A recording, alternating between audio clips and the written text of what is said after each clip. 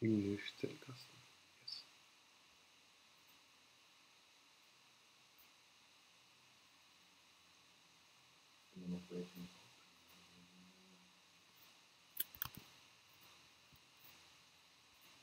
So.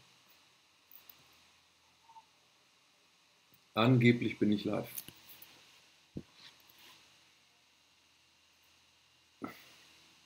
Sag mal, wenn es bei dir ankommt. Hello Leute. Hello Leute. Uh, yeah, I'm sorry, this was Denglish.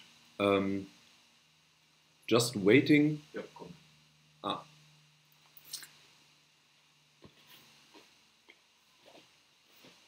I need to munch my vegetables uh, sometimes because uh, I was so pressed for time that I'm forced to just uh, squeeze my nutrition in here. Ah, Will.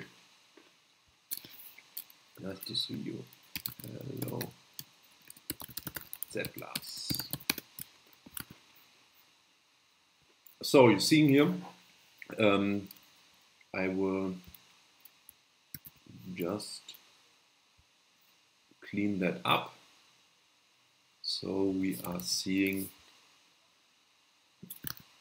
here just the archive or my uh,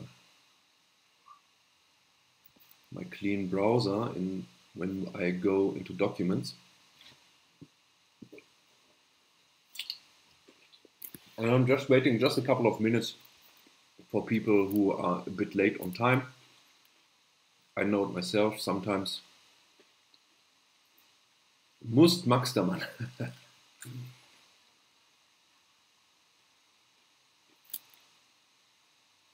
so, um, are you fine with the ratio? So should I make myself bigger or smaller? Just tiny, tiny, tiny. I don't know.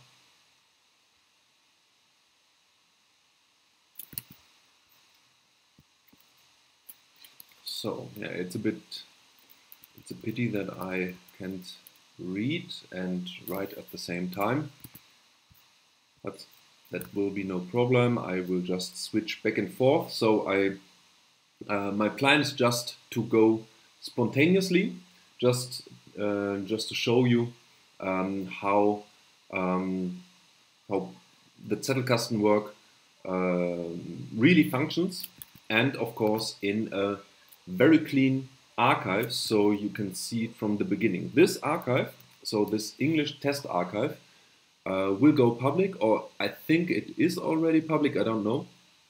Um, uh, so you have some kind of a sandbox and can uh, tinker a bit around uh, and see uh, yeah, what I did there. Das sind alles auf dem Bildschirm. Hm? Alles auf dem Bildschirm, ist das Absicht? Wie nicht alles. Äh, ist nur bisschen mehr als die Hälfte noch weiter drauf. Abgeschnitten. Ist abgeschnitten. Bei mir ist das nicht so.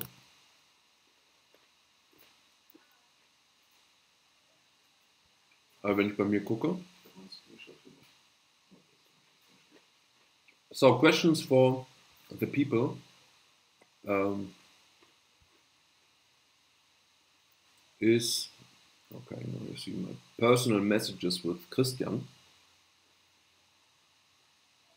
Abgeschnitten? Das sieht für mich wie Vollbild aus, nur dass dein Monitor groß ist wie Hulle. Ah! Okay, vielleicht doch nicht. Okay, Moment.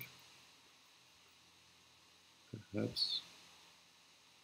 Oh, ja, ja, ja, ja. Da hast du recht. Da hast du recht. So, now I'm fitting in the window.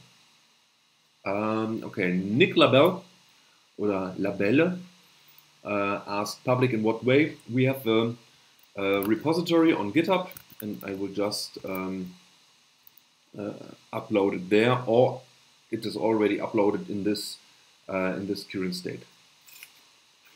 So six minutes overdue.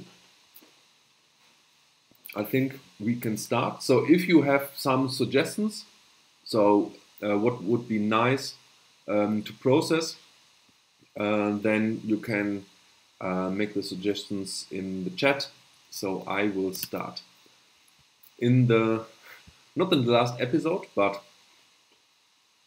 in, um, in a last or in a video, I demonstrated this uh, this node and my purpose was just to um, demonstrate the image, cap image capture and you are seeing here already how uh, how I work.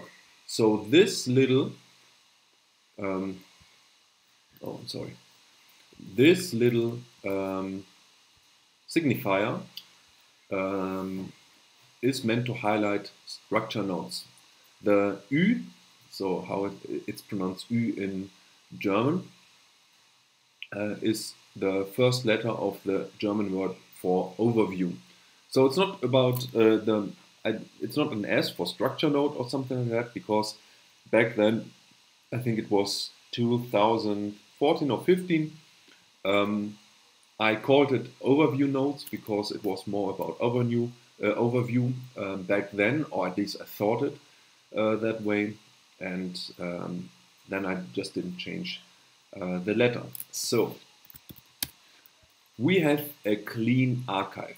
So what are we doing? What are we thinking about?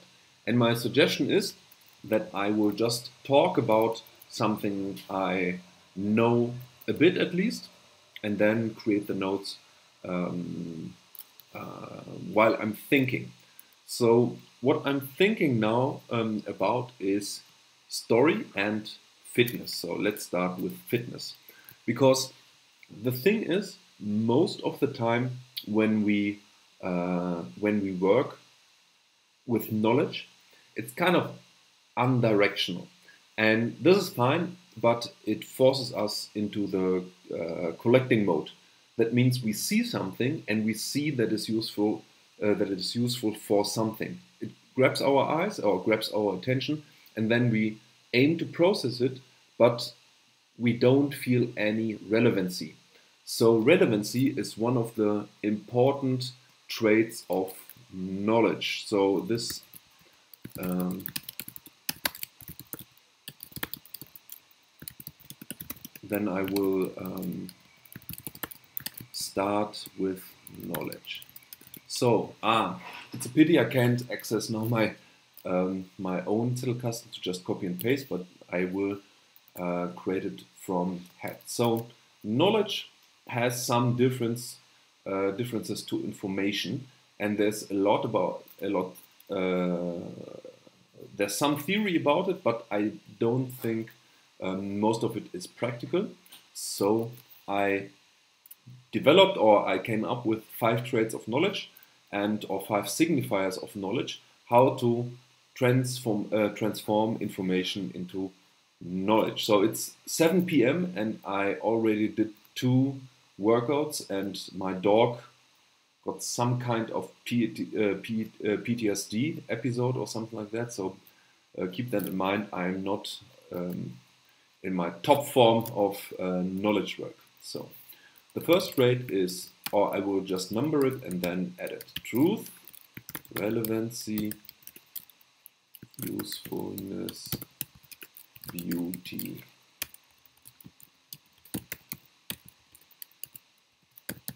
and um, simpleness.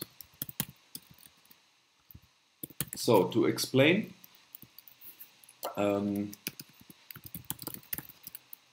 there are signifiers, and my my uh, English will be bad. So uh, just just to be warned, uh, my written English is even worse than my spoken English, but uh, it's understandable enough.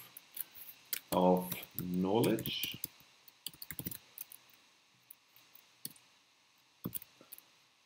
Signifiers.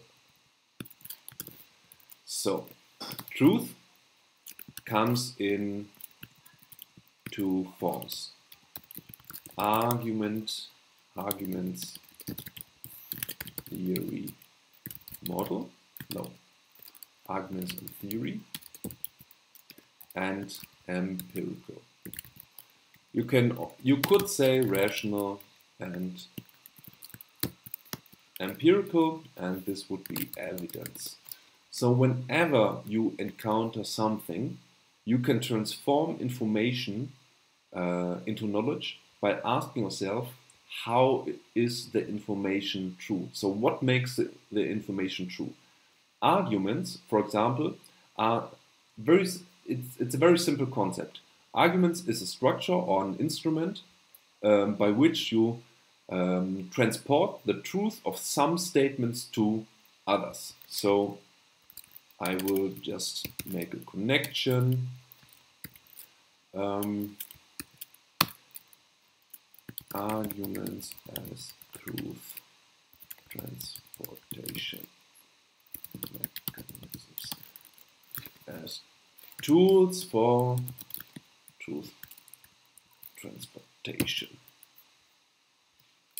So I don't, I will not comment on um, on um, all the shortcuts and uh, or how I actually doing it. So what I'm doing on the keyboard will be uh, hidden for you because um, this is kind of trivial. It's it's just normal shortcuts and it's all about muscle memory. So it can um, it can look a bit uh, quick and snappy, but uh, it's not. It's just uh, practice. So arguments are arguments are basically tools for truth transportation the argument form um, is used to, to transport truth from the premises to the conclusion. Example. Um, classical example, all humans are mortal. I am a mortal. Uh, oh, sorry. uh, okay, this is ugly. Um, how we do it? Ah, okay, I don't want to uh, interfere. Ah, so it's a heading. Okay, then I will go with uh, also therefore I am mortal. So you can see um, one and two are kind of are definitely definitely okay you see I'm true so this is kind of the weakness of arguments. There's always a possibility of infinite regress. That means imagine you are, you are a child and um, you are always asking why. And uh, so you can ask for the truth of it. So is it really that I'm a human? Perhaps I'm an alien or something like that. So I could prove you that I'm a human by perhaps a genetic test um, of mine, and this would be empirical but then you could doubt it and say, okay, I only see the PDF on your GitHub uh, repository. Uh, we need further truth, and then I'm making a photo or making a video of me while I'm in the uh, genetic lab, and further and further proving that I'm a human, but it will never be certain. So there is, uh, you go to a point where you accept that the premises are true, so the premises should be almost trivial, and then you connect, this is a modus ponens. Um, uh, um, so you have here the premises and then the argument structure in this in this case modus ponens transportates uh, or transports the truth of those premises to this statement and going back to um, to our original note. Mm. So this would be the link context. So how are we doing it? Arguments, uh, compare. So this would be a, a very basic, uh, a basic link context. Why? Because it's only one imperative. So to me, uh, this is very very trivial, and I will uh, never will forget uh, forget this in my life. So I'm kind of okay with the sloppy um, sloppy link context. But if I would use this um, for a text, I need to be more thorough with my link context, my explanation why I should follow this link, because later in the book, uh, when I use it, for example, in the book, um, this link context would be an explanation for the reader. So imagine I'm writing a chapter on knowledge and writing uh, this. Or, funny, I, I did actually did write uh, uh, did write it, and it's in the second uh, uh, second edition of the uh, of the Zettelkasten book. Then um, I write this chapter, or I will copy and paste this into the chapter, and then this would be um, a signifier to me when I'm writing or editing the manuscript that I will uh, place a cross reference in my book and reference the paragraph where I explain that arguments are uh, tools of truth uh, transportation. But you see in the title this little word as. Um, in German, it's wie, uh, uh, I'm sorry, it's als. So this uh, little word also always signifies um, basically definitions or models. Uh, the difference between definitions and models is somewhat uh, blurry. So a definition is basically um, it's basically information. Arguments are this and that. Um, if I think about um, think about a model or concept, it's I go more into depth, but it's more a practical uh, a practical difference. I think uh, for now, as far as we are concerned, or as far it's uh, uh, important. So, evidence. Evidence means uh, empirical evidence, so uh, it's about um, yeah, studies, it's about eyewitnesses, and so on and so forth. And evidence is basically also a true mechanism. So, but I won't uh, link to another node. So relevancy. Relevancy is a bit more important. What is relevancy? Relevancy is um, relevancy as as a reason for a reason for attention. Uh, for yeah for attention. Um, what is the German, uh, the English word. Um, attention. So um, sometimes I need to uh, to use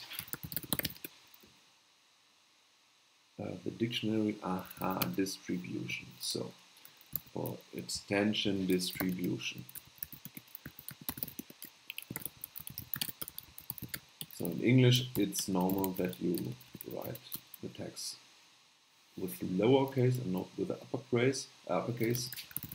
And um, so relevancy is, all, is, is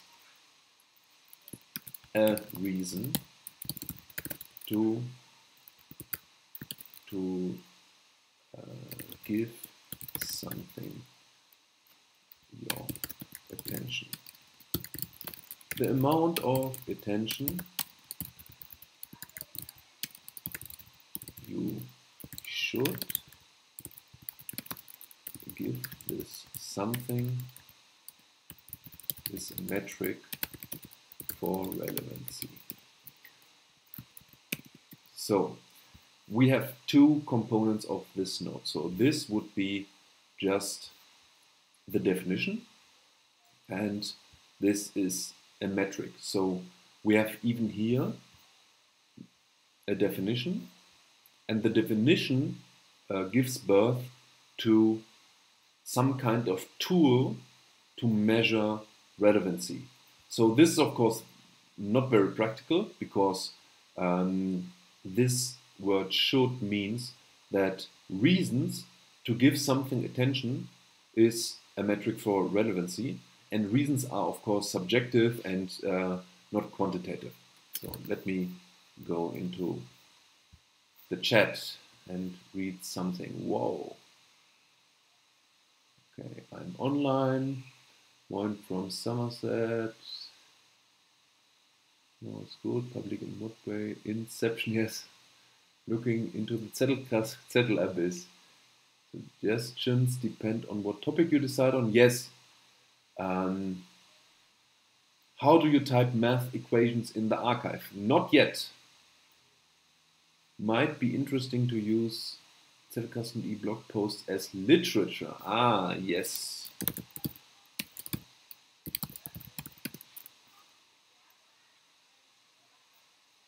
So, um, perhaps we go, okay, the short of Rome. What was the last? Backlinks. Oh, this would be a can of worms. Ah, Christian, wir haben noch nicht diese kurzen Thumbnails auf Zettelkasten, oder? Nee, haben wir nicht. Ach so, die auf dem Blog ist, äh, äh, sag mal, auf dem Blog sind immer noch die vollen Artikel. Hm, ja. Okay. So, um, yeah, I just, uh, uh, you can open uh, uh, the Zellkasten posts and perhaps make a suggestion. I leave it open, I will resume in the chat. And then if no suggestion comes, I will search, uh, search uh, appropriate article. So, Henrik, hallo.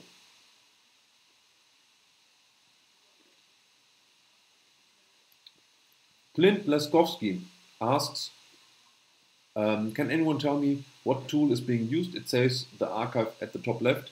Yes, it's the archive, the best app on earth. Better even than uh, Firefox.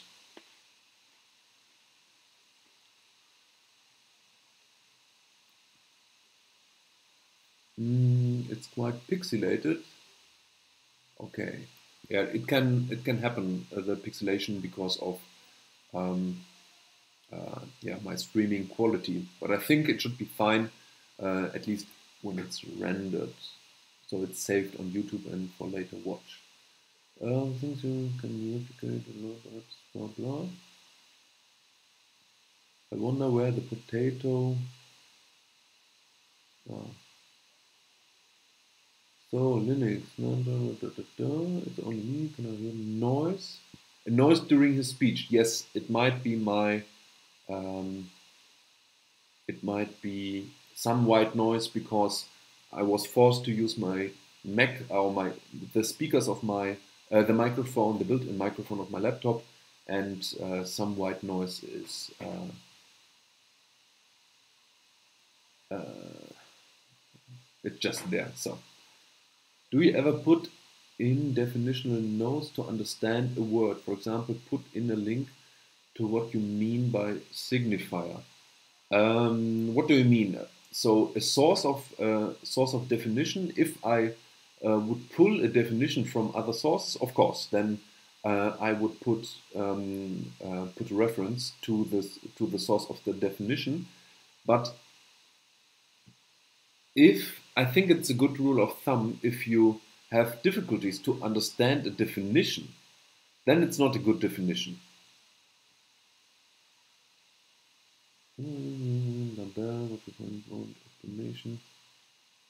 Christian, du bist ja richtig präsent hier im Making Notes out of the Blog Post und Backlinks. Ah, backlinks, yes, the kind of worms. Worms or worms? Worms, I think.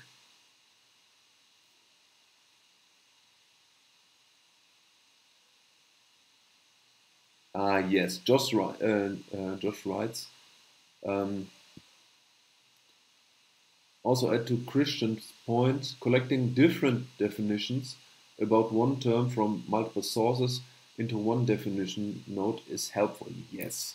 So I will show you um, uh, what this means. So um,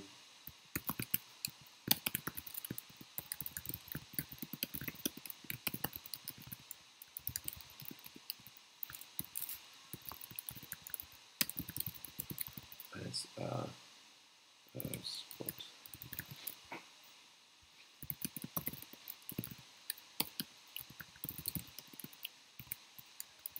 Function is my spot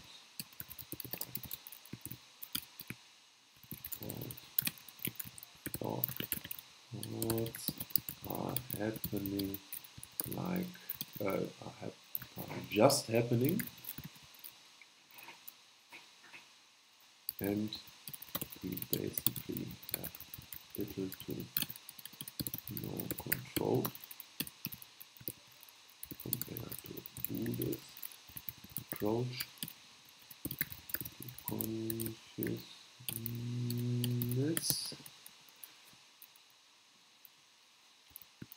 Attention is as a spotlight just uh, gives as a spotlight. Um, just okay bad, bad style just highlights. A fraction of what is present in every moment. So this would be um, not exactly a definition, but more of a concept. So you don't see attention is a spotlight, but attention is like a spotlight. So um, it's not exactly a, a metaphor, even it, uh, there's some similarity to, to metaphor. So the difference between metaphor and model is that metaphors are basically a mean to give you a feel for something. So if I tell you that uh, your lips are, uh, are soft as the leaves of a rose, um, then I try to give you a feel for the lips. But it's not a model. So a rose, uh, uh, leaves of a rose is not a model for lips. Um, a model is basically a reduction of reality, so we can uh, manipulate it with our um, with our mind or with our actions. So imagine uh, what a good model of uh, of a tree, uh, I'm sorry, of um, of a plane is. So knowledge, perhaps I could go here. Um, models, no, knowledge structures. Uh, so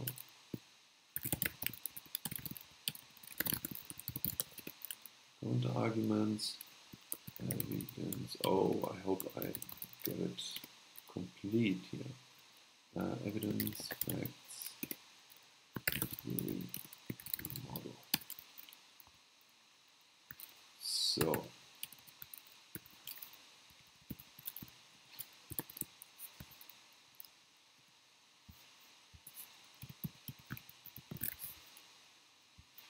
Um,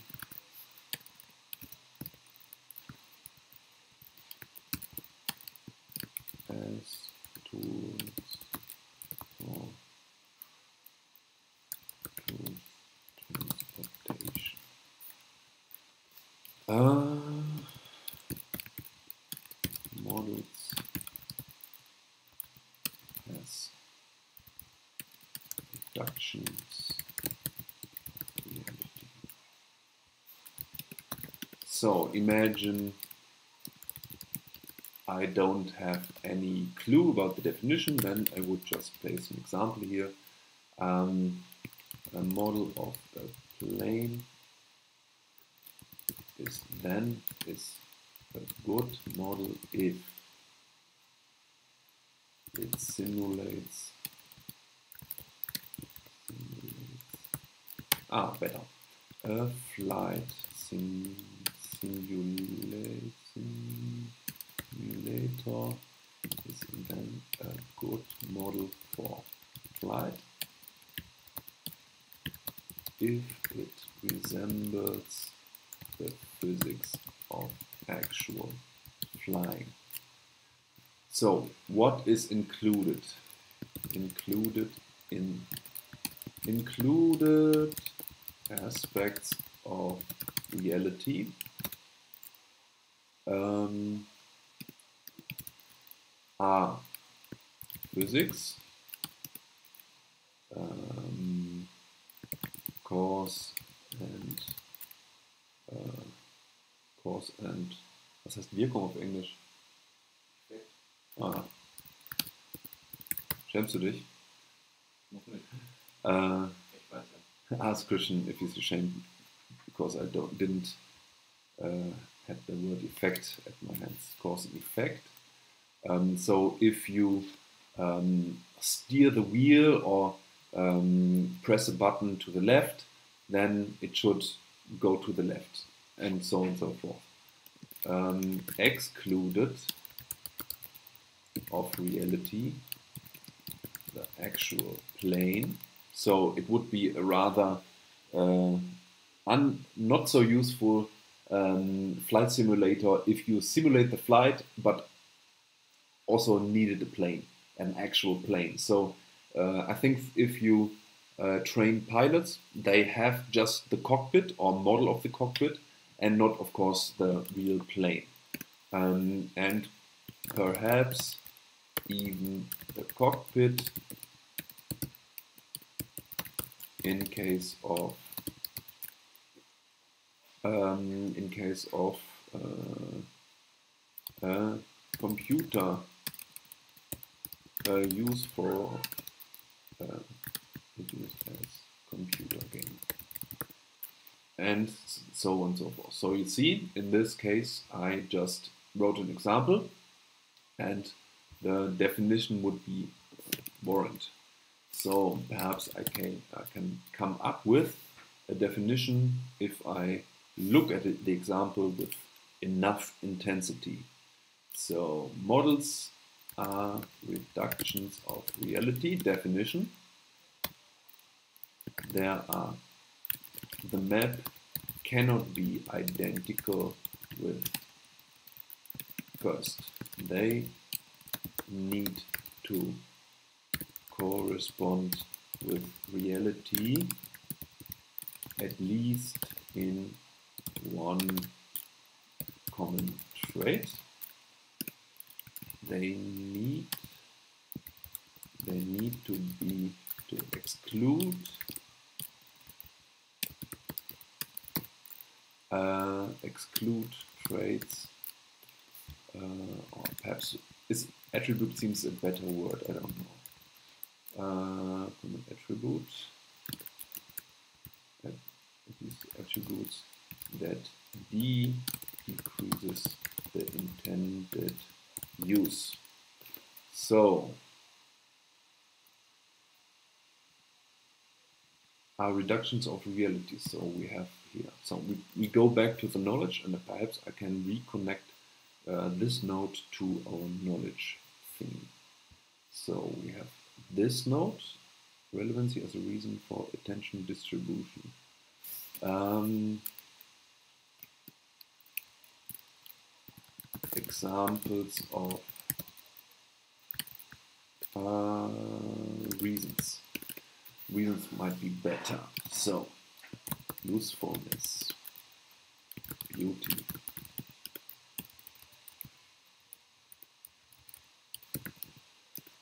joy, um, danger. Mm. So okay, in the I, I will I will make it real. So I, I just this you see this is the the reason um, why I really don't like public. Um, well, I'm dirty. Um, I'm because of my dog.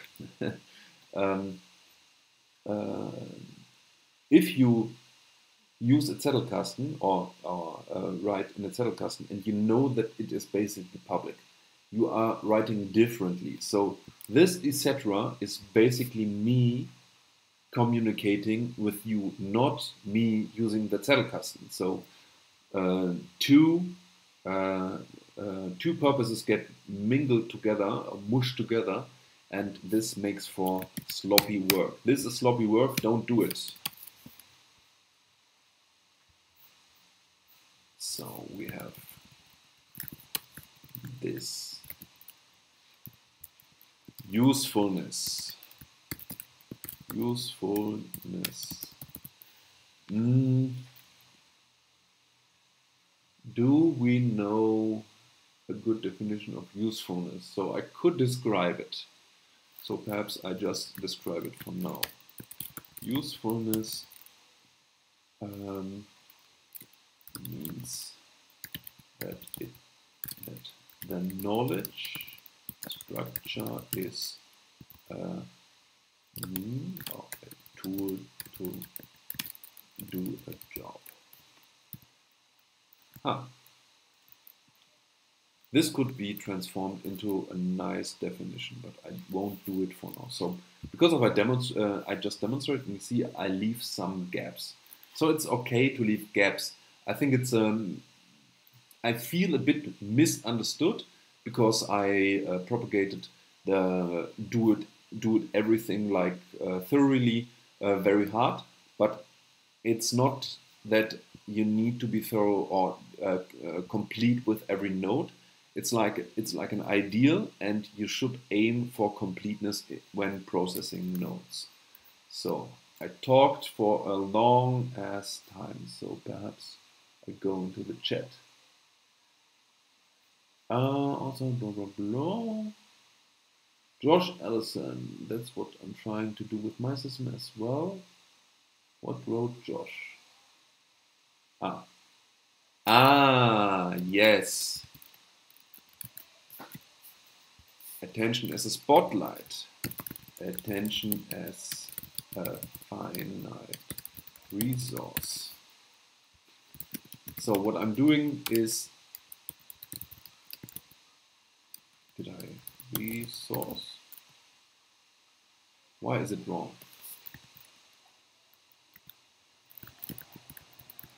So resource, yeah, this is this is rather wrong. Can you give me the correct resource? No, it's correct. Resource, uh, resource, English with one S. You minimalist are?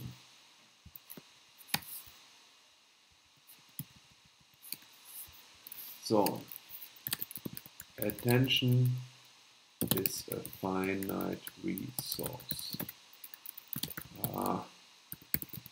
Resource first.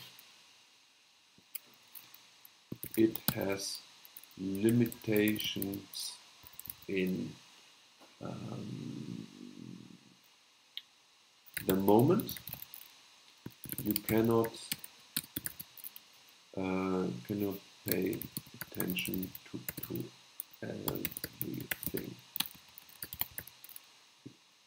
at the same same time. Example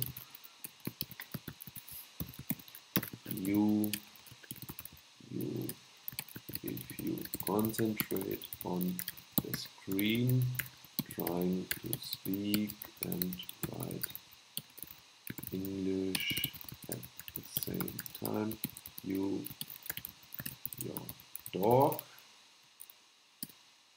which you like a lot is basically invisible to you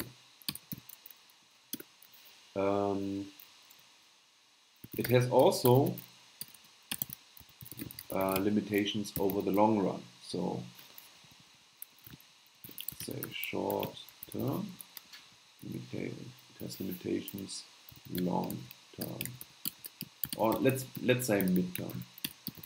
If you use your attention a lot during the day, you will have difficulty to concentrate on something later in the day. So this would be a definition. Attention is a finite resource. And um, these are two pieces of evidence. So even if you just have, an, have a definition, um, and definitions are not susceptible to the concept of truth in the strict sense. So I can define everything as everything. For example, I can define my car uh, as a rabbit and say my car is a rabbit um, because X, Y, and Z. And I can think of some common trait or whatnot. But uh, this is not how the world works. So a definition is basically a tool. So, um, and you can see it in the last part. So this would be um, a claim on the truth. It is, attention is a finite resource. So if we can, can, uh, can come up with, with limitations of uh, attention in some way or another, then we have evidence uh, for the definition. So evidence would be a means to basically say this concept has a good correspondence uh, or corresponds with reality. So it pick, uh, maps reality fine. Um, but you can see here when I go in a third definition, attention, attention as a um, economic resource.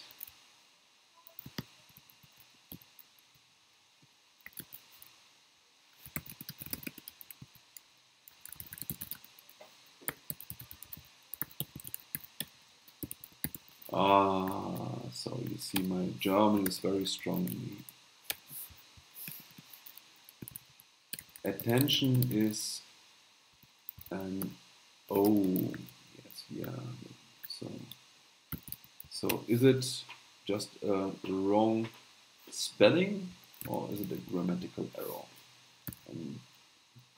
Economic economic resource ah,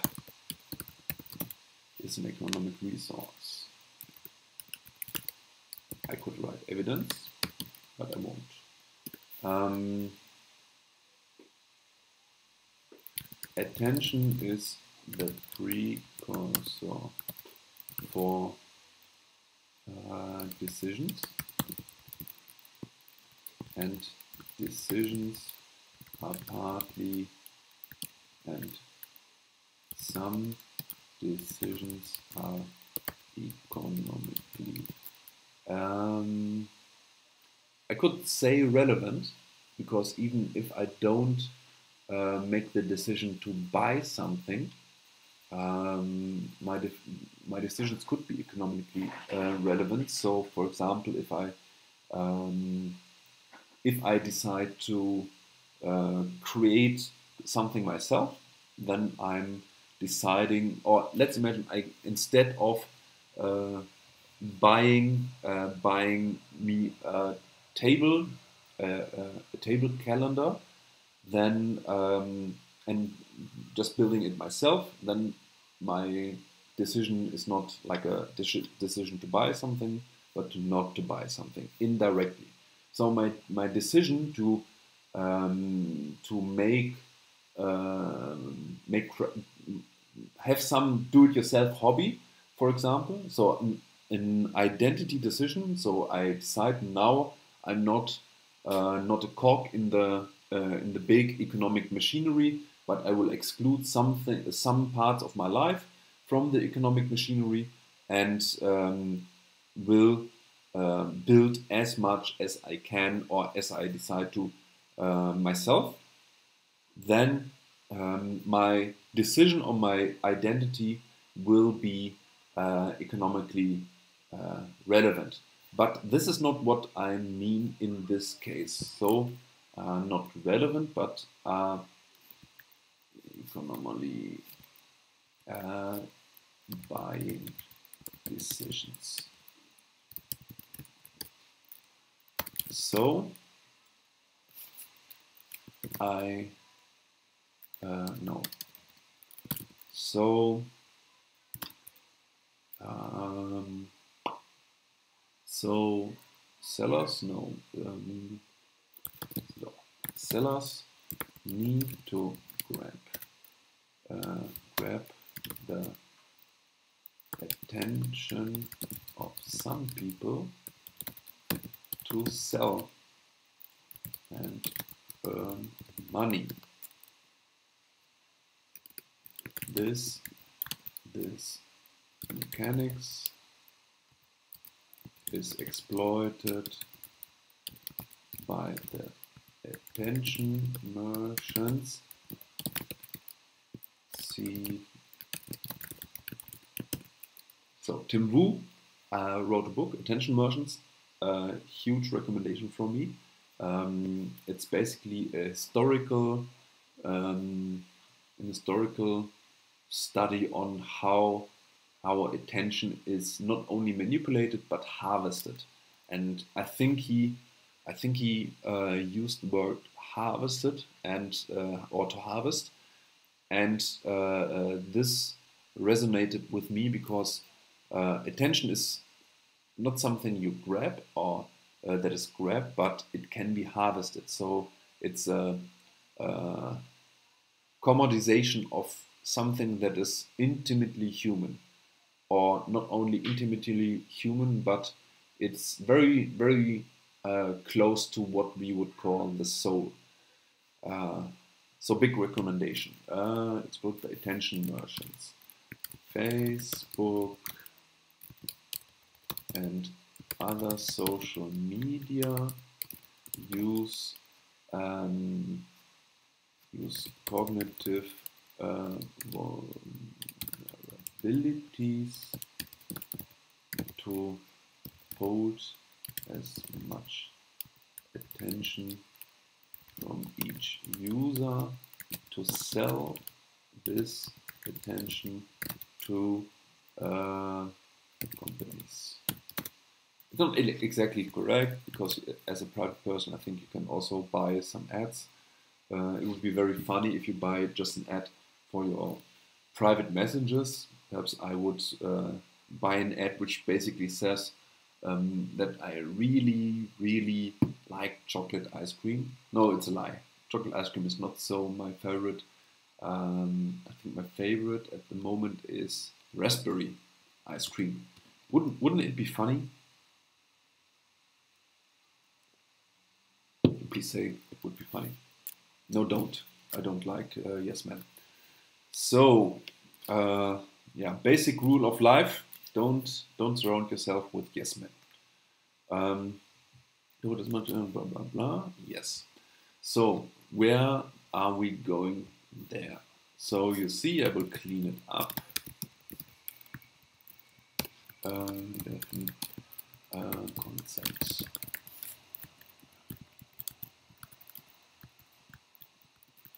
So this is how it looks when I am doing it myself. Uh,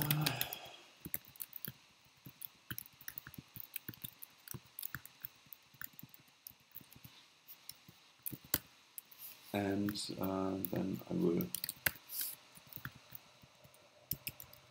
then I will make it a bit pretty.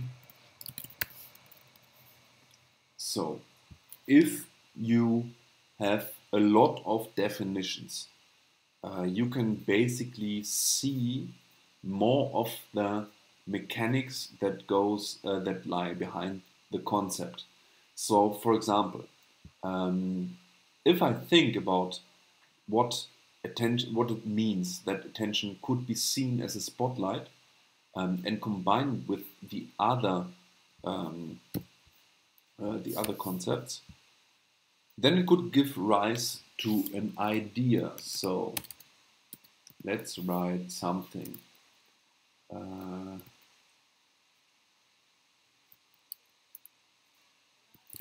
if attention is a finite, finite resource and it is an equal is finite economic resource there will be there will be a fight for attention. Uh, a fight for this limited resource. Will the attention merchants in it's just, this is just for you. Uh, I will keep it in there. The tension merchants will in will be feel forced. So it's not that they don't have a choice.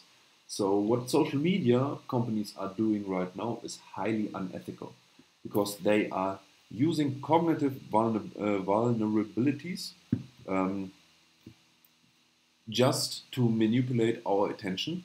And the funny thing is, um, no CEO or high uh, uh, or person in high management allow um, allow their own kids uh, to use uh, digital media or go on social media or so on.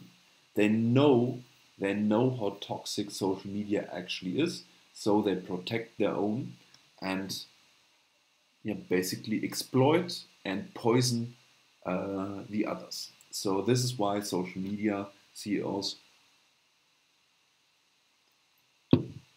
are insanely immoral people. Not very on, on the personal level. So I, I think uh, most of them are, can be actually very nice and um, uh, nice people but uh, they are participating in a very immoral uh, uh, decision system.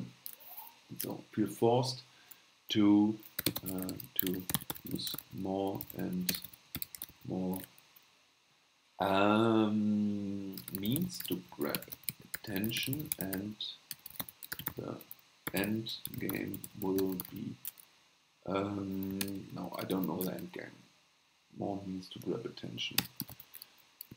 It, as time goes on,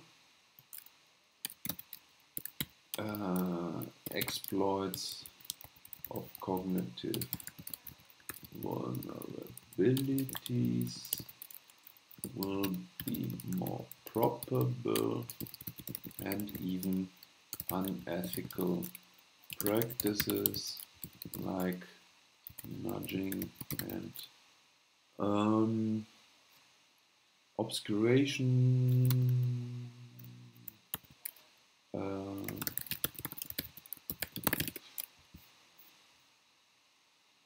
so blurring, I don't think this is the correct word. Uh, disguise, blur, uh, this would obfuscation, obfus, obfuscation telecommunication, yes, I like this word. Um, and obfuscation of uh, privacy settings common place. So, doesn't it sound familiar? I called Facebook out with their very insane, uh, insane practices in this uh, in this area. So attention is a finite resource and an economic resource.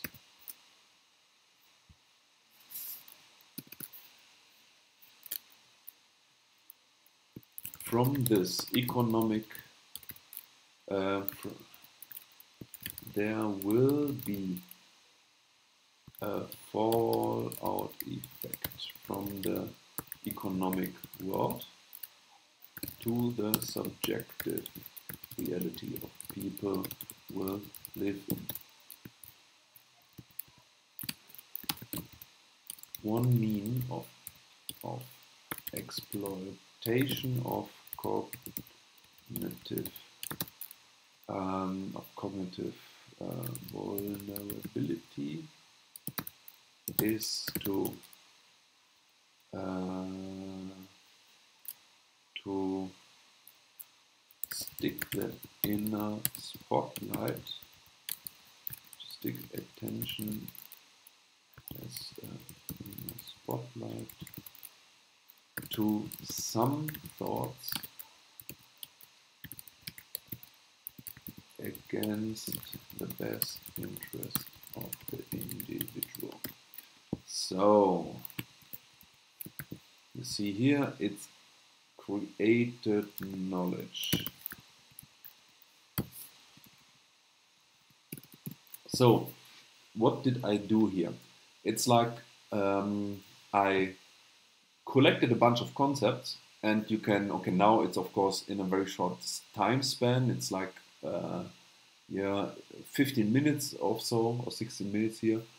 Uh, but uh, even those uh, uh, my collection of this concept would be like years apart. The Zettelkasten would allow me to see them all in one place. So collecting concepts and putting them together can be um, a productive way of setting up your Zettelkasten for uh, for knowledge production. Why is it knowledge here? So I managed to highlight or to come up with a mechanism, a causal mechanism in the real world that was not, uh, that I didn't know before. So let's look at knowledge. Um, go with relevancy. Oh. So no, we go with everything. So let's create a new node and how do we call it? The fallout of how attention, how attention economy hurts the hmm the soul. So I go for a big word.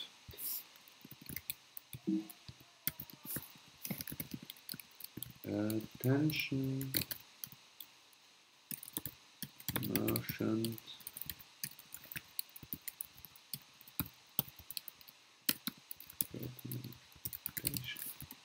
So fragmentation means so some thoughts will um, the result the result will be a fragmentation. No. No, that is wrong. So what I wanted to write is that the result of this mechanics will, uh, will be a fragmentation of uh, attention, and attention uh, is basically identical with consciousness, um, or like uh, all those concepts have a big overlap in reality. So uh, if you are conscious of something, you uh, you invest your attention to it or into it. So it's very, very uh, tied together. And if you have no control over your attention, you are losing consciousness. So basically, what those people are doing is um, is uh, robbing robbing the people uh, of their consciousness. And what soul do we have if we don't have consciousness? we are reduced to animals. And I don't mean it in a, a romantic way because animals, of course, not of course, but I think they have a soul. At least my dog has a soul. Uh, not a very nice soul, I, I must say, because she's a bit, uh, a bit uh, uh sassy, I might say. Uh, but um, she has a soul, and um, the issue is that the human soul is something different from the animal soul. So this is really, I mean, soul. So, so you know.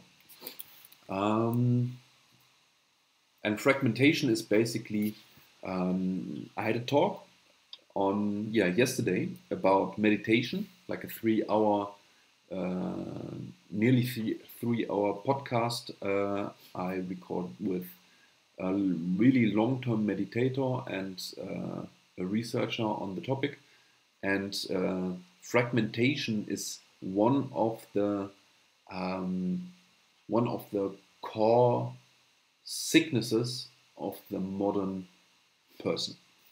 Um, so because I thought about that, or I, I talked about that uh, yesterday, I think I uh, came up with this, but this is not correct. It's not about fragmentation here. Um, best interest of the soul. The soul needs oh, control over one's inner spotlight means that you are um, okay let's make a pause perhaps I get an idea so uh,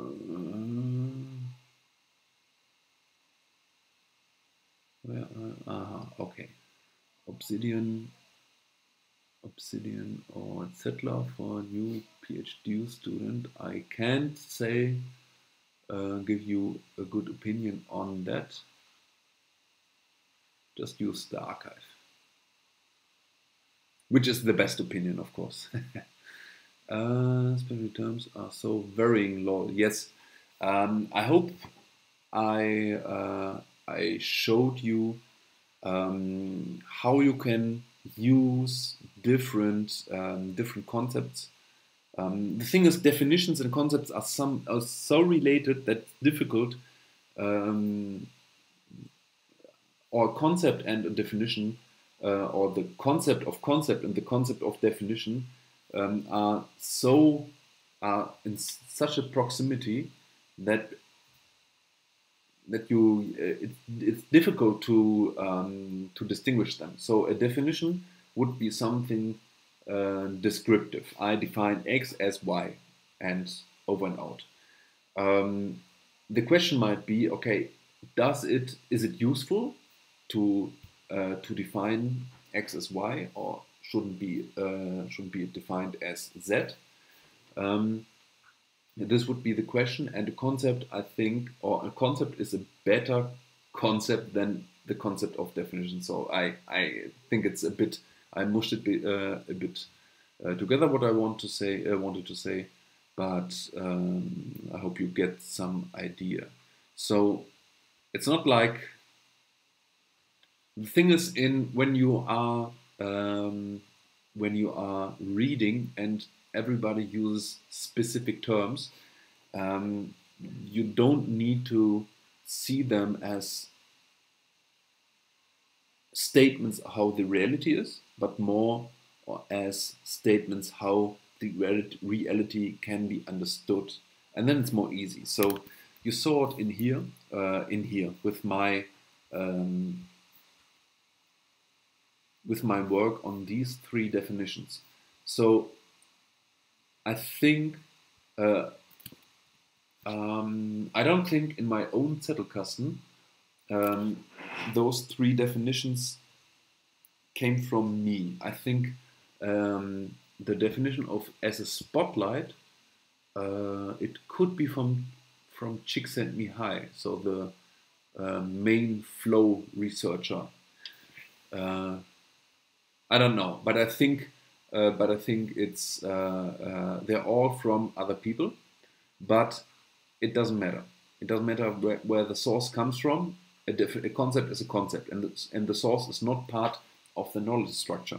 The source um, is basically just a reference, and the reference is only important to give credit to the intellectual um, power and and, um, and to the intellectual achievement to others, uh, and so uh, um, it's not very important where the um, where it comes from. And you see, I don't distinguish, for example, uh, between literature notes and permanent notes. I just think in my Zettelkasten. So this is really how I could work in the Zettelkasten. It's not blind how the uh, Let's Players uh, would define uh, um, uh, their Let's Play. So a blind Let's Play means the player um, or Let's Plays are basically someone plays a computer game and records it and then uh, publish it on uh, Twitch or YouTube or something like that. And um, if the player doesn't know the game in before, it's blind. Also, it's called blind, and uh, it's not blind when he or she knows it before. Um, so what I did was not blind. So I knew the uh, I knew the definitions, and it just came spontaneously. This is borderline new because I think I thought it, but I don't know if I have this thought in my Zettelkasten yet. Um, I I don't think so. No, I'm I'm quite sure that I don't have this, uh, especially this thought in my Zettelkasten yet. So when I uh, when I am finished with this stream, oh, then I will probably let my dog uh, do uh, do her business um, outside, but then uh, and go to sleep. But I, in the next morning, I will go back to this node and basically process my own note, but without reference, of course, because I am uh, reference. But I these references here will be, of course, uh, changed because I have true or my own nodes uh, in my own uh, Zettelkasten uh, in that. So I forgot where I started, so I just pretend that I uh, was just reading the comments. Especially in terms of philosophy, I'm using it with my degree. Uh, what program I'm using? I'm using. I'm doing MBA arts. How do you handle? Ah, uh, no, not jumping, please.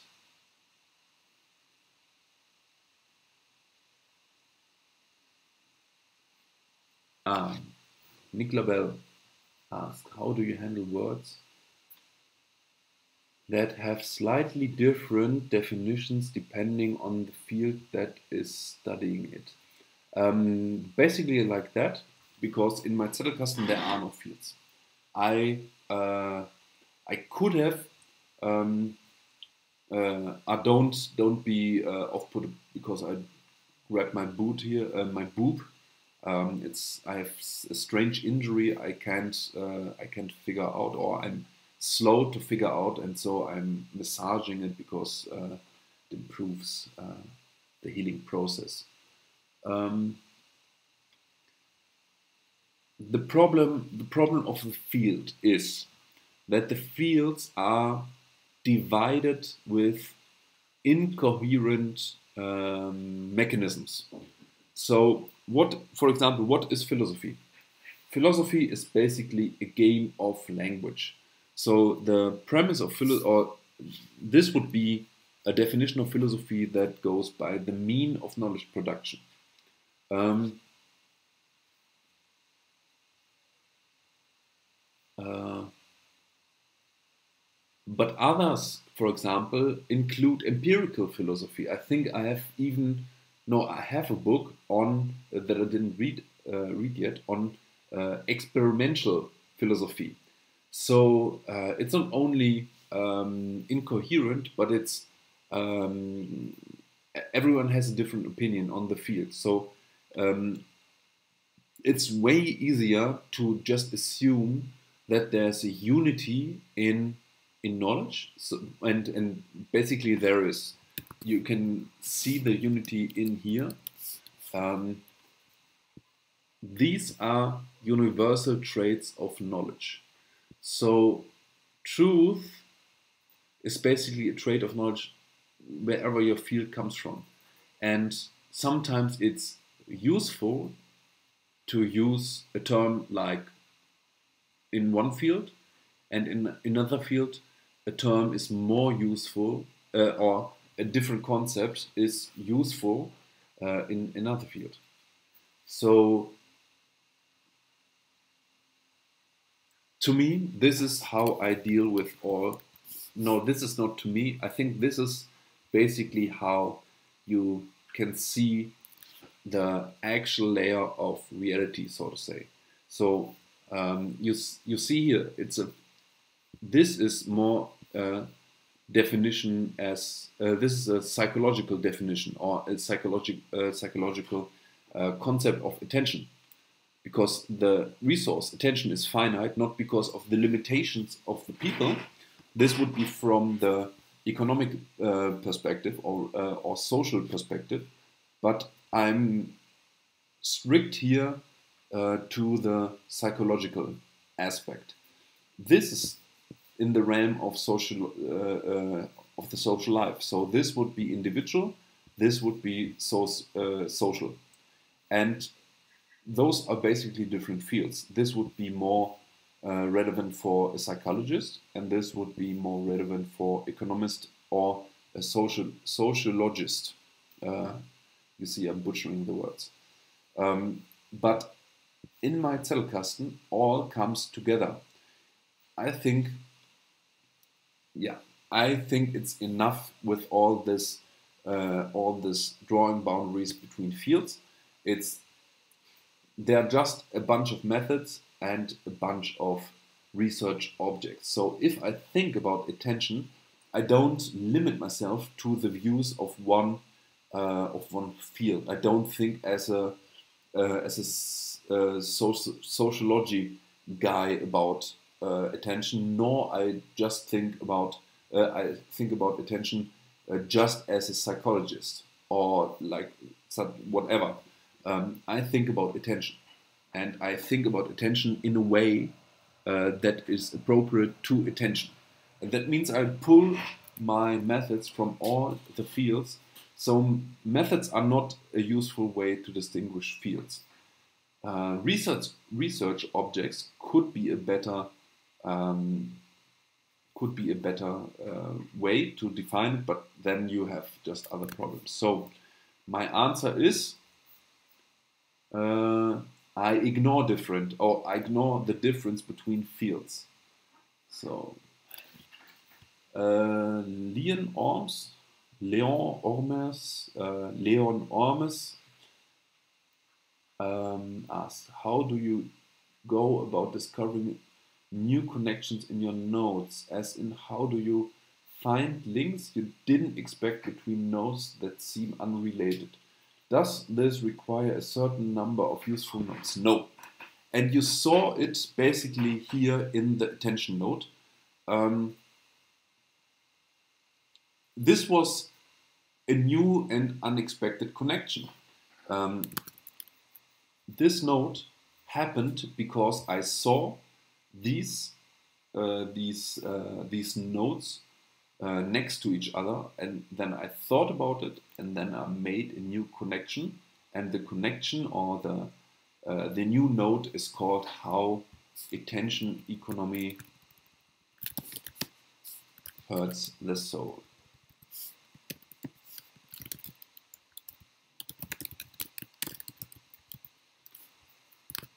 So I hope, um, yeah, this this directly answers your, your question. It's like, I did it. I did it in front of you. It was really, it was new uh, to me. And this is how um, new connections in your archive or in your Zettelkasten arises. And um, uh, yeah, there's no magic to it. And you see how many notes did I got? Uh, do I have? 13 notes. So Um, as proven, at least by this example, um, you need no more than 13 nodes to make this new and unexpected uh, connections. Paulo Wagner asks, what is U1? There's no need to apologize. Uh, ah, Josh uh, answered it. Yes, uh, it's just a signifier for um, uh, for structure nodes. It stems from the uh, yeah, and Leo uh, Leon Orms uh, answered it.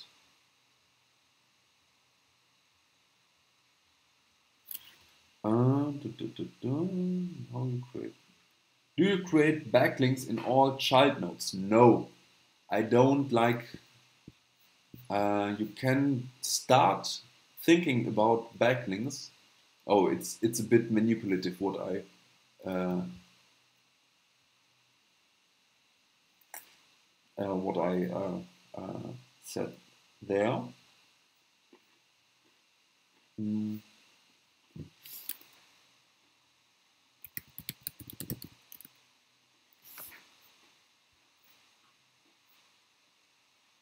Start with this.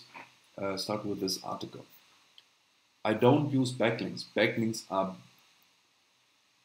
basically just a mean, um, just a mean to um, to navigate your archive. But a backlink is almost never useful. One might argue that the backlink um, the backlink would be um, useful uh, useful um, for that manner. So if you if I had a backlink for all this attention nodes, um, oh, am I thinking in the right direction? Let me sort myself out. Uh, no, in this even in this case, it wouldn't be uh, it wouldn't be happening because um, this would only have the backlink uh, to those or those would be the backlinks to this node. So um, imagine imagine uh, I see this and this, oh, this and this node. Those two nodes are not very related because this is basically the structure node that uh, entails all the other nodes on attention. So, no. But you see, I'm, I'm getting a bit tired, so I think uh, today I won't be able to do a useful two-hour stream, so perhaps uh, 10 more minutes, um, and then I will uh, call it a day and um, chill out. So, OL Khan. Um, when when is a good time to create structure nodes and why? Thank you for uh, this awesome treat. Oh, you're welcome. Um, yeah, you, you saw I'm, I uh, didn't manage to eat my vegetables at all, so I will eat vegetables late, and this will worsen my sleep because uh, having a full stomach is mostly not a good idea. When you go to sleep, um, a half full stomach is way better. Um, I think a structure node, perhaps in a in another stream, uh, perhaps in a, in another stream, it uh, I will go to it. It's kind of a difficult question because there are many reasons uh, many reasons to create a structure node. So I you saw it in here, uh, in here. Uh, you saw it, uh, how I did it. I basically created the structure nodes um, right from the beginning. So I start with the structure node, and most of the time, if I have something new, a new topic, a new project, or whatnot, I will start with the structure node because a structure node is not only something for your Zettelkasten. It's basically can, uh, the canvas on which you can think. So you saw it here. I collected the uh, the three concept of concepts of uh, attention, and then I saw the connection and wrote uh, wrote uh, wrote the new idea, the unexpected, the the mystical, unexpected connection, just where I had it, and used the structure note on attention just as my canvas. And then, of course, when I was finished, I tidied, um, uh, made it more pretty and uh, tidied it up. Is it is it right? Tidied it up. Uh, kind of strange to say it. Torin, goodbye. I hope you have the opportunity to uh, to see the rest.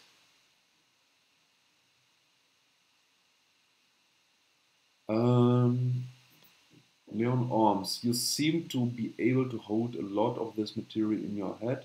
Is this a result of using Zettelkasten for all these years, or you just know this material?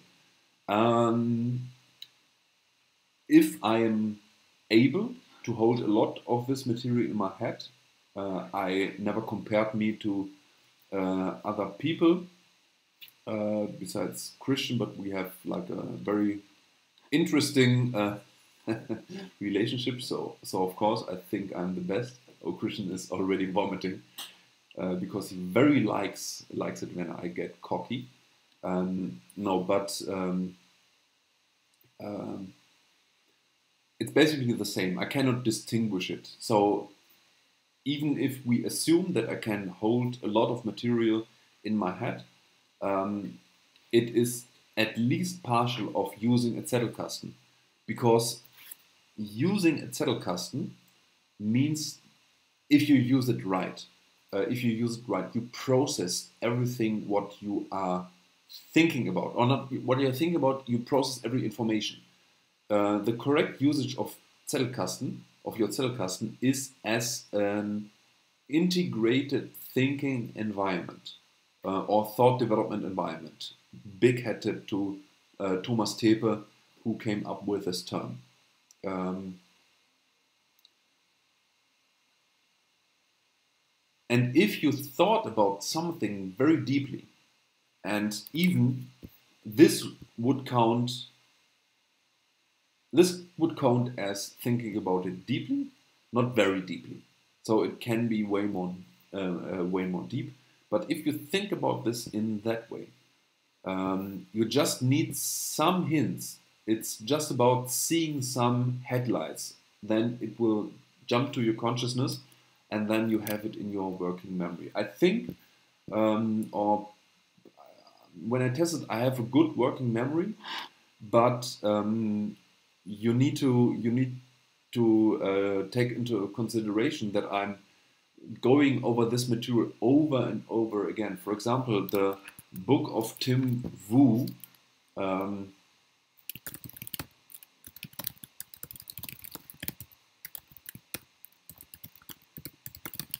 um, I didn't just read it, but I reviewed every footnote, or not every footnote in the book, but whenever I read uh, read a book, I go, uh, I attack it with the barbell method. So I read it once and mark all the paragraphs I um, mark all the paragraphs I, I, I make myself a bit bigger. I think. Uh, my stream. Is it okay? Can you hear me? So, um, when I think, uh, uh, no, when I read, I have I read it once, and uh, place a dot next to every um, next to every ah the sound might be so uh, next to every um, uh, paragraph I deem worthy to read a second time. So either because I didn't understand it properly enough, or feel that I didn't understand it properly enough, or um, um, or I um, find it very useful or very wrong or something like that. So it grabs my attention. Then I go um, and place the book next to my computer, and then I reread the book, but only the uh, only the paragraphs I marked. And when I read a paragraph like that, I will look at all references that the author uh, that the author uses. So it's not only I read the book, but I read the references that are pre-filtered by my judgment of a paragraph, um, a, paragraph's worthiness of attention. So it's like I'm I'm using uh, using the process of uh, of reading as a pre-selective mechanism to deepen uh, to deepen my understanding by going into primary literature. So if you go uh, if you work like this, there's no other choice or no other possibility that you um, that you increase your retention because retention is basically I think about three things. It's about emotional intensity. So if um, let's imagine I um, I meet you on the street, you say hi Sasha, I know you from Zettelkasten.de, and then I scream in your face um, pull down my pants and call you an asshole and then run away uh, yodeling. I think you will remember this uh, uh, for the rest of your life because it's emotionally intense. It's about social embarrassment, it's about strangeness, it's about um, like a strange connection between us, and so on and so forth. Or perhaps a more family friendly example would be um, uh, just something shocking or something uh, um, super super happy or something like that. Uh, so emotional uh, emotional intensity is uh, important for retention. Um, uh, repetition. Repetition is the most boring and the most fragile aspect of retention, I think. Oh, don't don't bust my ass, please, uh, uh, with all these different concepts of memory, retention, recall, and so on and so forth. I just use it as a catch-all term for now, uh, and I'm not uh, able enough to speak English to to have this all sorted out with all the different uh, words. Uh, we had emotional intensity, repetition, and the last one is understanding. If you had like an eureka moment is it Eureka? Christian? Yeah. So Christian, Christian uh, uh, confirmed me. Eureka moment. It's highly likely that you can remember it um, very well. Well, perhaps because the Eureka moments are also emotionally intense. Um, I don't know yet.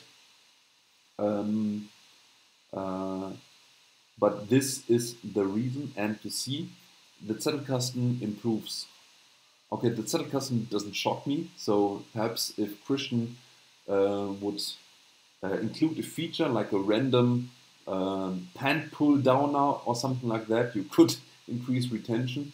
Um, but it's repetitive, so you go over over uh, on uh, you see notes over and over again and reread them and reformulate them and so on for so forth. And of course, you if you use the Zettelkasten right, you increase your understanding and uh, increase uh, aha. Uh, ah, no, I think in, in German it's aha moment because in German when you have an insight you say aha. Uh, it's basically the, the shout out. So uh, or eureka moment, uh, moments of insight. I need a less strong word for my taste.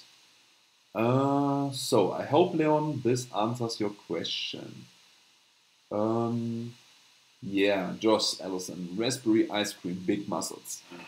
Raspberry is for super big guns, but I fear that the ice cream part is not very helpful. But raspberries are super helpful, uh, helpful, uh, healthy. So, and health equals big gains.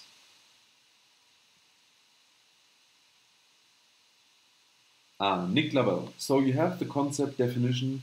What other structure node sections on attention would you create? Uh, it's basically bottom up for now. So let me go into the archive. Um, So another sub a subsection would be attention economy. Um, this would be uh, perhaps conceptual, and then I could uh, do it like this. Um, conceptual, psychological.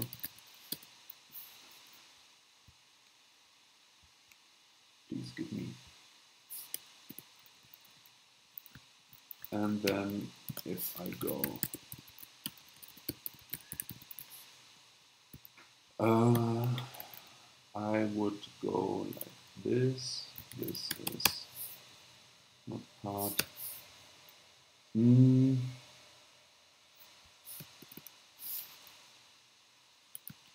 And perhaps um, how to is a very fairly common subsection. So if it grows too big, so how to would be very extended, uh, extensive in my uh, in my uh, experience because I work a lot on tools. So this would be perhaps uh, meditation is in a, in a way, uh, flow work, uh, concent concentration exercises, habits, and so on and so forth. So I would create, uh, yeah, this, yeah, this is how it could look like. But most of the time, I try to be flexible. So I have, I have um, a, a scheme, a template. I have a template for structure nodes, but I used like for two years, and then I quit using it because it got too inflexible to me. So in my, I'm, I'm quite hesitant to uh, share templates because in my opinion they are not so useful because they make you stiff. And the more stiff you are in your thinking the worse your knowledge work will get. So let me show you my face again. Um, so I hope this answers the question I won't repeat it. It's like a like a mantra. I hope this uh, hope this answers the question. Uh, but I always hope that my answer answers the question. Would be foolish not to hope. Um, the observation discussion on duality of attention and consciousness was really interesting. Trying to work out some notes for my own custom. Yeah, it's like this is I, to me this is big because um, in my own Zettelkasten I have like some concepts that are like uh, how is it called in, in English dual dual star system or something like that. So the sun is basically a stationary star. I hope the sun is a star. Uh, yes, it is. And um, in a dual star system, I don't know if the English word uh, uh is correct the stars circle around each other. And in my Zettelkasten, there are like multiple, multiple, multiple star uh, systems where concepts like uh, like circle each other and orbit each other. And uh, regarding the, the attention and consciousness uh, thing, uh, it's will, it's consciousness, it's attention, it's soul, um, yeah, concentration is basically just an afterthought of attention. Concentration is basically like if you think about attention as a spotlight or a beam, you can think of concentration just as in, in two aspects. Concentration would be directional, so you concentrate on something and not another. But concentration means like focusing and like making making sunlight into a laser, um, like a lens. And uh, so concentration is basically just a sub a subtopic, you could say, of attention. But uh, yeah, the, the, topic is very deep. I hope I can publish my thoughts uh, uh, before you and we don't have like this big argument uh, uh, like Leibniz and Newton had. It was then, um, was it? Christian, weißt du das noch?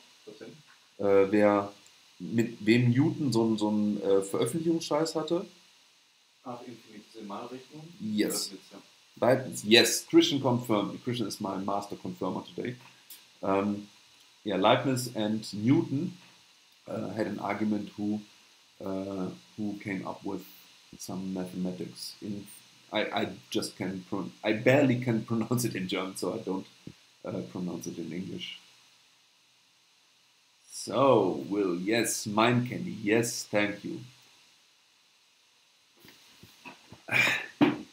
Dioclicchio, Dioclicchio di Camello. So I think it's Italian or Portuguese or Spanish. Um, or nothing. Okay, Dio, Dioclicchio uh, Camello. Sascha, how would you would I reduce a deep accumulated thought that's been elaborated in a sequence of nodes? Do I create a structure node or synthesis node? Um, my first recommendation would be uh, that you don't distinguish between those node types. Um, yes, we need names for different uh, for different uh, forms of nodes, but um, there's no real difference between a structure node and a synthesis node, because on a structure node you could base or you could argue that the structure nodes uh, structure node synthesize other nodes. A structure node is basically, I think, meta node.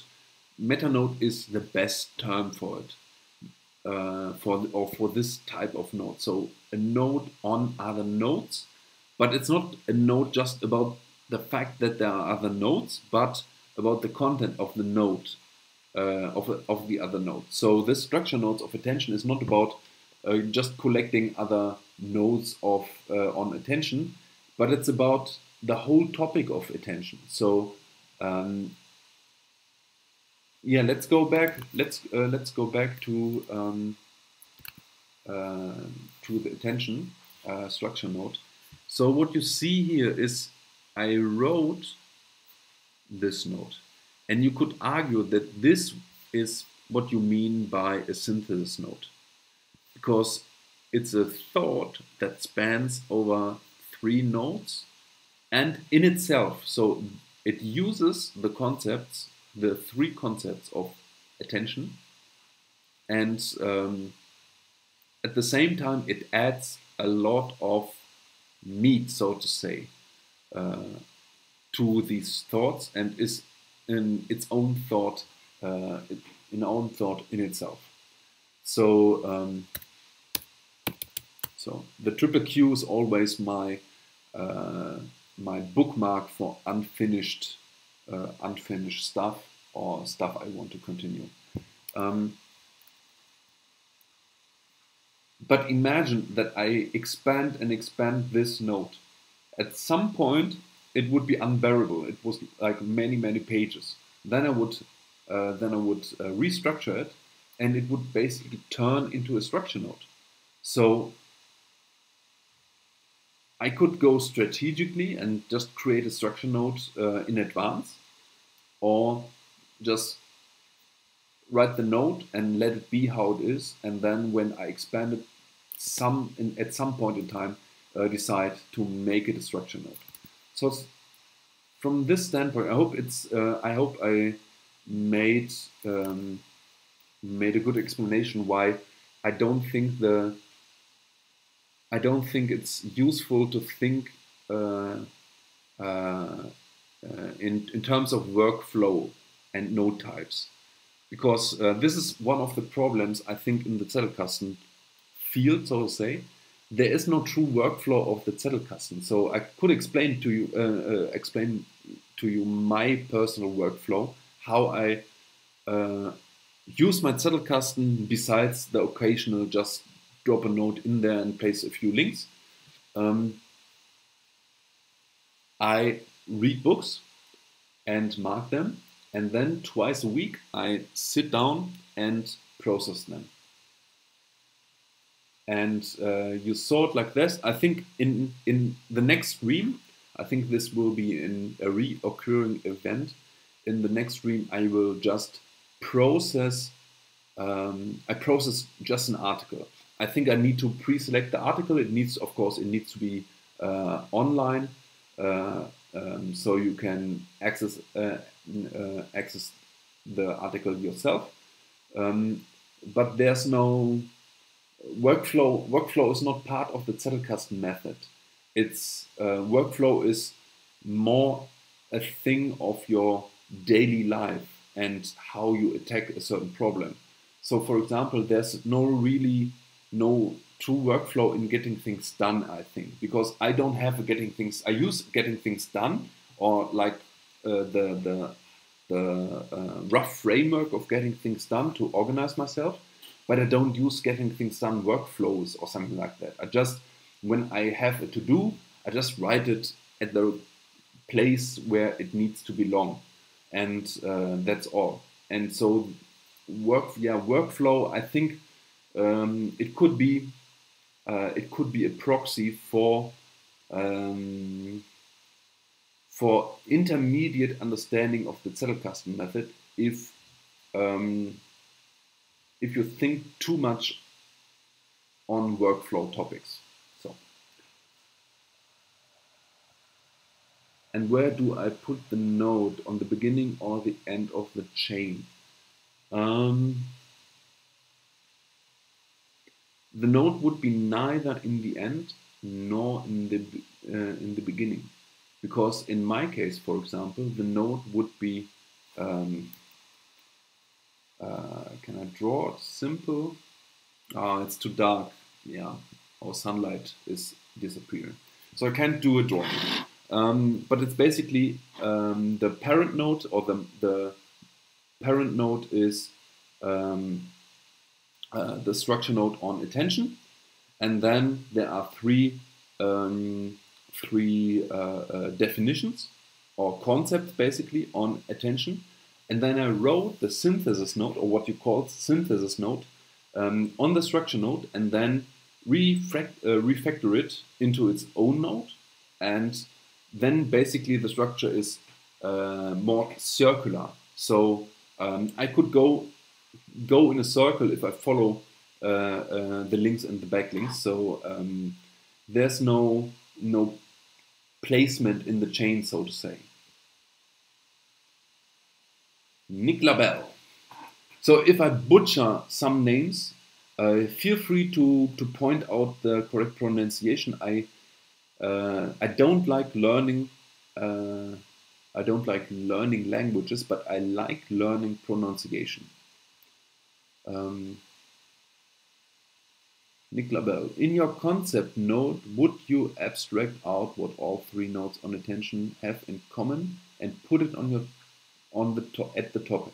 I think you mean structure node, or don't you? Uh, so uh, I think you mean. Okay, let me reread it. So so much about holding a lot in my head. Um, would you abstract out what all three notes on attention have in common and put it at the top? It could be, yes. Uh, it could really be, because if I think, uh, sometimes it happens that I have some concepts and then I make a more general, uh, a more general concept that uh, that is more like a meta concept. I think um,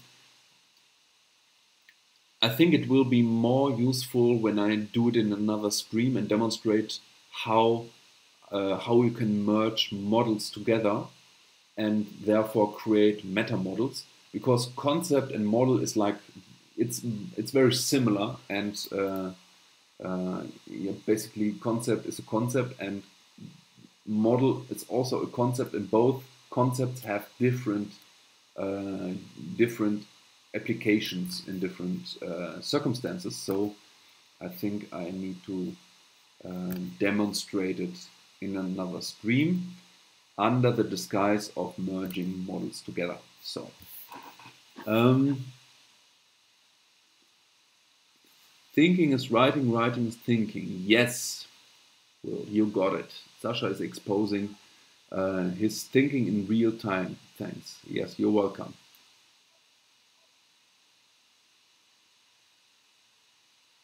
Uh, oh. Where is no blah blah blah.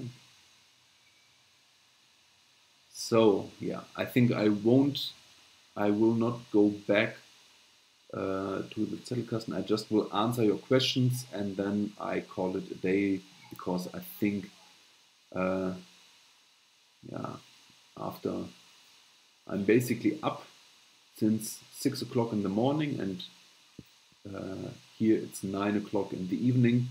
I, I basically had no no real rest. No, it's not true. I ate and then I watched some videos, but I had no cognitive pause. So my batteries are low.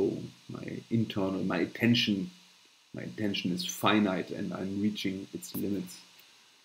The book Make It Stick has a great story like this. Make It Stick. Ah, yes. I think I heard of the book. I need to make a note. Uh,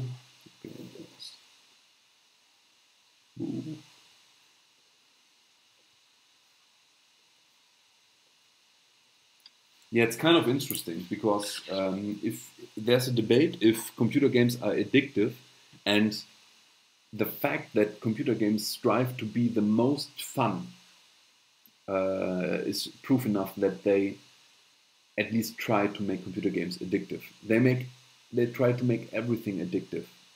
It's kind of it's kind of logical because if you're addicted to some product, you increase um, uh, increase revenue or the addiction means for the companies to uh, increase revenue and a bigger share of the consumption.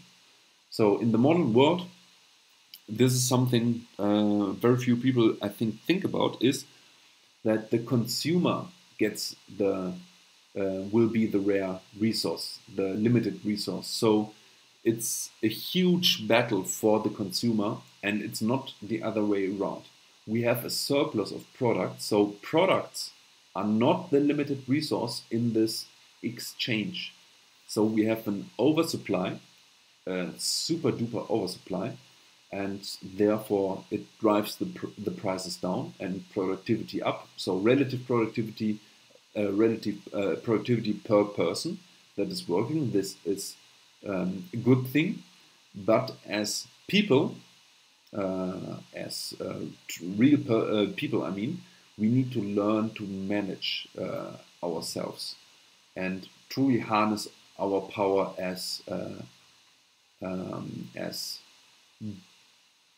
as persons who uh, who deliberately um, uh, choose what attention we uh, throw out in the world. So you, you see my English gets worse and worse and worse. Uh, that's why they tell you to relate what you are learning to your life because it has emotional connection.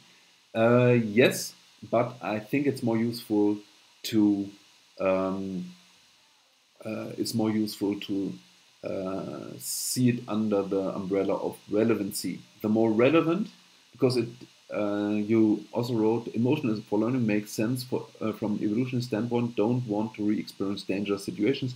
This is one side of the emotional spectrum so it's not only negative but there can be also positive experience of course. And uh, this is also part of emotional learning.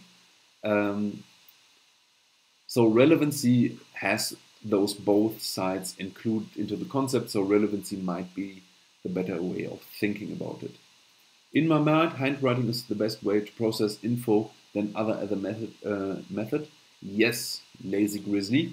Um, that is a major, or this is the major reason why decided uh, why we decided to make it uh, make an image capture um, like we have it in the archive, because it's a way to integrate your handwriting and uh, especially your drawing capability uh, and your archive. So many times, I hope I have the, yeah, I have it. uh, oh, wait a minute, I need to archive this. So you see archetypes. I basically draw uh, such pictures and make models. So visual models, not only like written out models. And then I explain the models or work with them. So um, some thoughts for, for example, this would be, I don't need to have handwriting on that because this would be trivial, especially because it's more of a, a memory thing for me than to come up with it. But if I really think about it, I quite often um, catch myself make drawings and then write about the drawings and let this um, and then let the uh, the drawing or the act of the drawing and thinking about the drawing and redrawing it like make it like a uh, what is it called uh,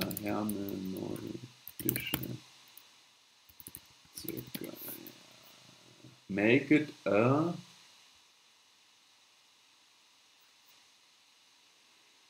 make it a hermeneutic hermeneutic, hermeneutic uh, circle. Uh, but you, oh no, you don't see the word, so I um, make it like this.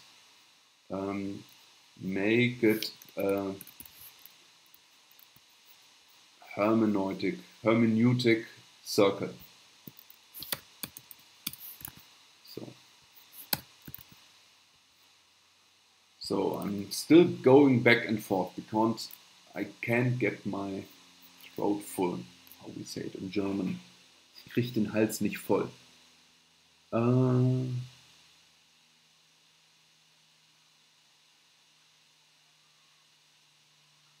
narrow.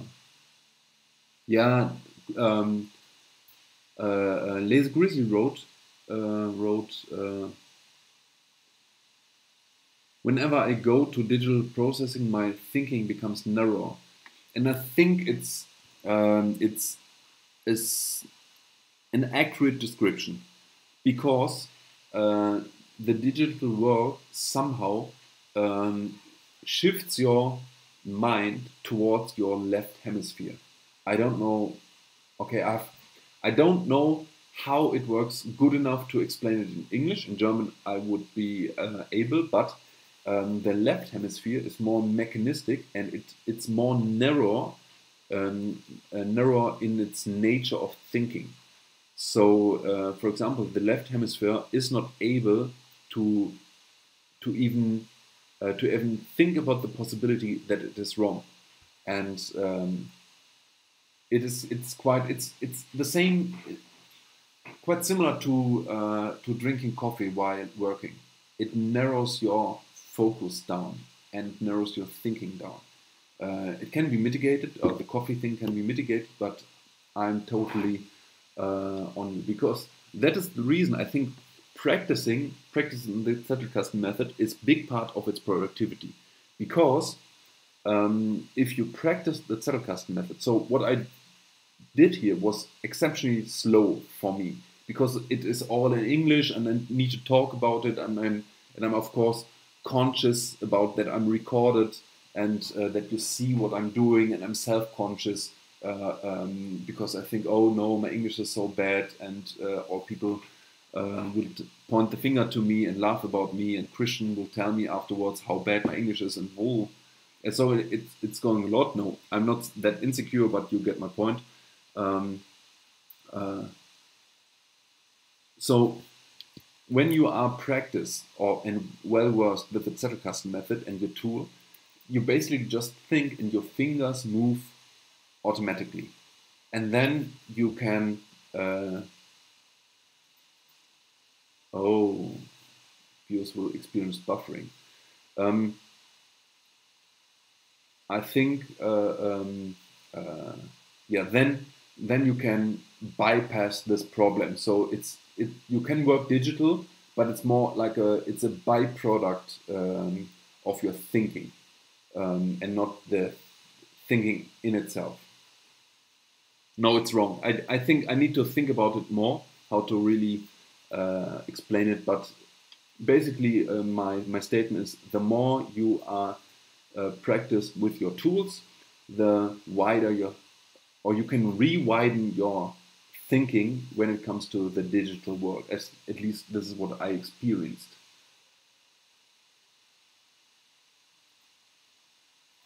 Yeah, uh, Lazy Grizzly uh, wrote Nerola. Uh, Christian uh, Christian asked uh, in what respect, uh, and Lazy Grizzly answered Nero like I focus more on the form or structure rather than the processing info. Yes, it's basically the left hemisphere.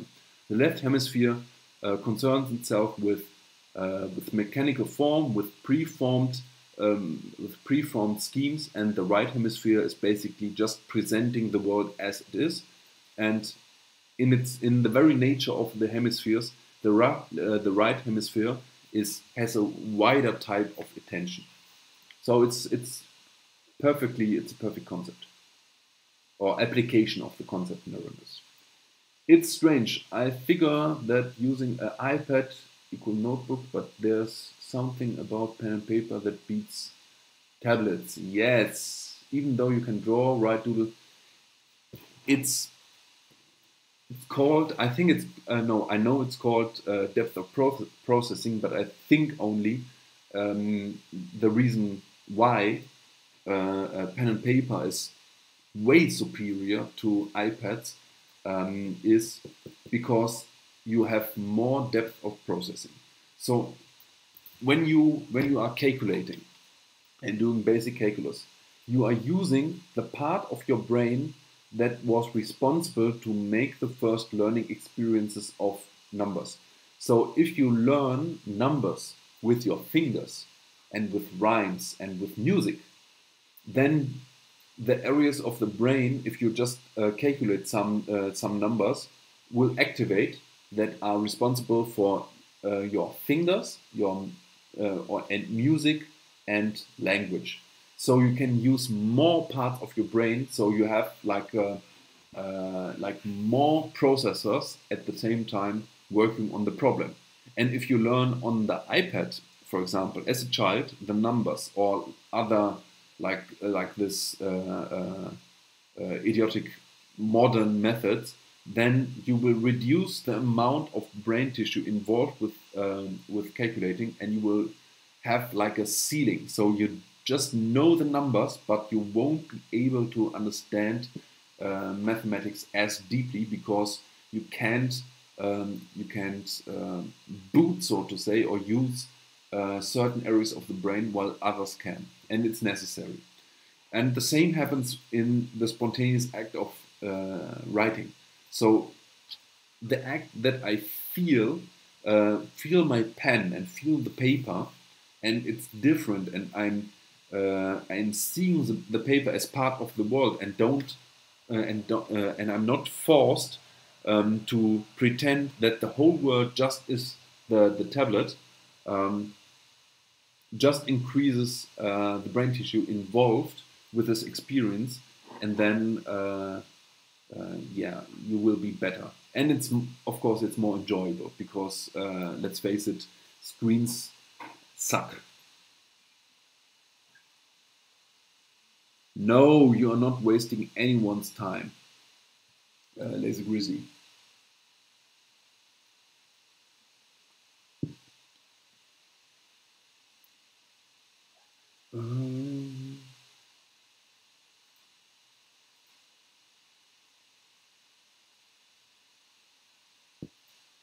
Writing means making sequential on sketches. Yes, writing a sequential drawing is uh, not sequential, more holistic. In the first year, I knew I didn't have laptop. Oh,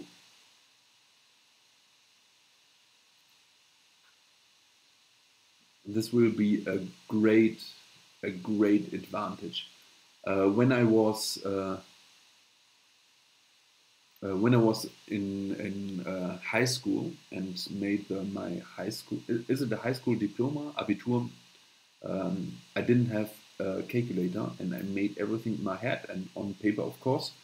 And it was to my great benefit. I developed some skills to get on Christian's nerves. After that, it took me some time to acquaint. Yes, thank you. You're, you're welcome, Dino. Josh, I can't wait for Sascha's book. I might have to learn German. Uh, yes. Uh,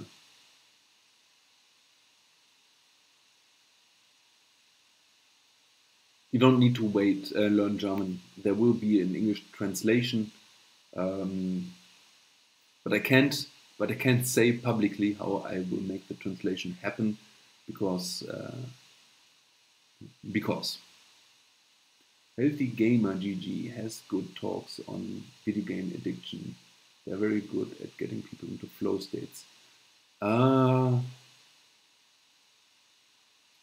I will I will say yes and no, but I have to ditch this topic I talked about yesterday very extensively. And flow is very it could be flow, but mm, yeah, in German we have a word for that Zerstreuung. Uh, it's directly it's directly translated something to fragmentation. So it can be you can go into flow, but also you can just fragment your mind and one is healthy and one is not, and fragmentation is not. Uh, no Christian answered. I read, I read part of the Make It Stick book. Yeah, or Bruno Hanai. Uh, I read the part. Uh, I read part of the Make It Stick book. It would be nice to see how you would process this book. I think I need to uh, stick to texts that are online uh, available online, uh, so you can see the text uh, for yourself. Because if I have a book, I don't have two cameras and I'm I don't have the setup to to do it, and I don't know if it's legal to.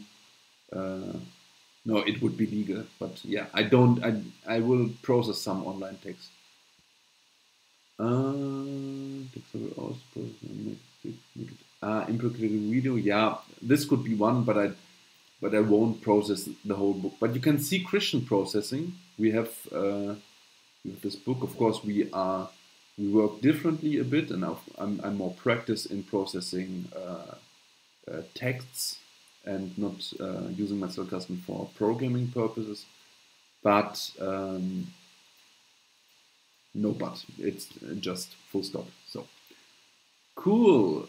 Josh, that's cool. I like the tight iteration loops. I get stuck reading too much, diving down the bunny hole, not increasing knowledge. Now we'll stop after 20 minutes. Yeah, it's it could be a good workaround if uh, if you catch yourself to read to read too much, um, and that is why I basically do my thinking in writing, so I don't have to worry um, about this issue. Uh, Ah, yes. Okay, sounds good. Colleagues, man, bla bla. Christian wrote something. Ha? Ja, ja. Also komplett schwarz schon? Nein, ein bisschen sieht man, oder? Das war's. Ich sehe noch ein bisschen mehr. Naja. Um, so, I read somewhere about comparing the online with the game. If we, okay. Yeah, well, it's getting dark. But the problem is if I use the lamp next to my uh, to my desk, you will get like a uh, like a strange strange effect. So it's basically it's nine o'clock in the evening, so 9 p.m. Uh, in my time zone. I'm up since uh, 5 5:45 a.m with no cognitive rest. So my batteries are now low and I will need to finish. So, party people, um, when things go black, what will happen? You will meet God or the devil, depending on how